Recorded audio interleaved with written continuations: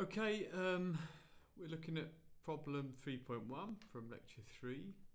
Um, it's a rocket and it's on a ramp and the question asks um, how much work is done on the rocket by friction and aerodynamic drag, which are non-conservative forces, um, between uh, its starting position and when it leaves the ramp. So we can first of all just kick off by drawing the ramp and we'll call this position position 1 so that's when it's at rest. And when it leaves the ramp we'll call it position 2 okay um, so because this has got non-conservative forces in it we're going to use the expression for uh, the principle of work and energy with non-conservative forces, which is at the end of, um, well, we introduce it in lecture three, so let's go to lecture three. And you can see that here it is. We've got the potential energy plus kinetic energy plus the work done on the system, on so in this case the rocket by non-conservative forces, is equal to the potential energy and the uh, kinetic energy at position 2. So let's just write that out here.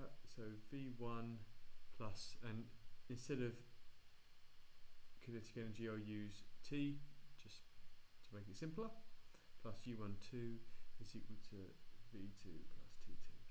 So we want to find those things. Um, some are pretty easy to determine. So, for example, this is the potential energy, um, and we'll create a datum here. So the potential energy at position one, so it's we'll call it state one, is zero because it's uh, obviously on the ground. And when it gets to this position, it's got a height of what does it say in the question? It's got a height of oops 2 meters. So 2 meters, so the potential energy at 2 is equal to mgh2, which is equal to the mass, is 250, times 9.81 times 2. So quickly do a sum. 250 times 9.81 times 2 equals 2 point no sorry 4.9 kilonewton meters. So that's v1 and v2 done. Initially it's at rest it's a rocket. We're starting it so starting the rocket so then it's going to take off at a different speed. Um, it leaves the ramp at 52 meters per second. So let's write down that. V2 equals 52 meters per second so we can work out what the kinetic energy is when it leaves the ramp because the expression for kinetic energy is half mv2 squared equals half times what's the mass again? 250 yeah times 52 squared. So 250 divided by 2 is 125 times 52 squared.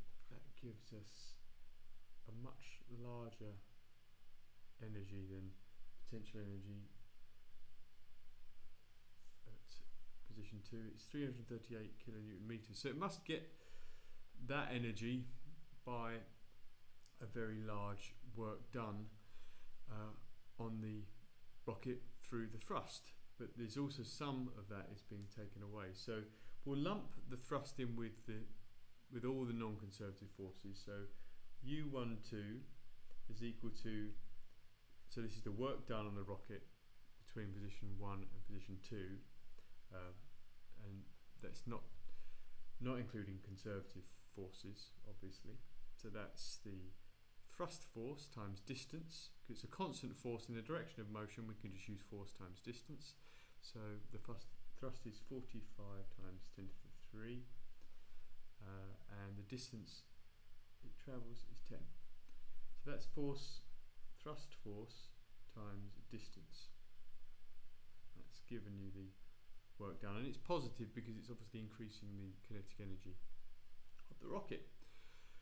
Now we can put in the bit that we don't know and we're trying to find out in this question, which is UF, which is the, the frictional force. Sorry, not the frictional force, the work done by friction and aerodynamic uh, drag lumped together.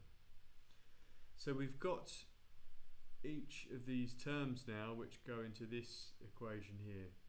And I can so I'll make that substitution and I'm going to risk doing this in my head. Well, not in my head but doing the rearrangement here.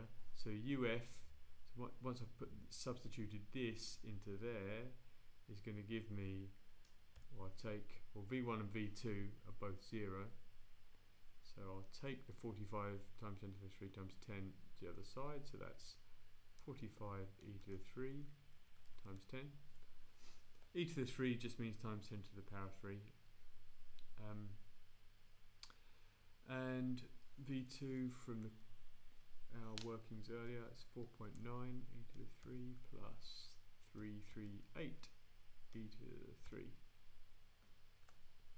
and that's our answer. That's um, minus 107 kilonewton meters and that's negative because obviously this the the um, work done on the rocket is negative because it removes energy from the system uh, because it's a non-conservative force. Well the the combined action of friction and aerodynamic drag. So that was a simple one um, okay that's that done